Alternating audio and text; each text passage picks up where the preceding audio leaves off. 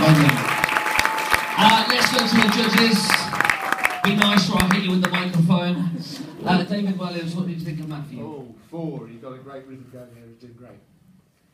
That's it, brilliant. Okay, thank you. I actually thought you were like playing right at the start, and I was like, oh my life, you're amazing, but it was just the track, and then you kicked in, and that was even more amazing. Ladies and gentlemen, it's Matthew!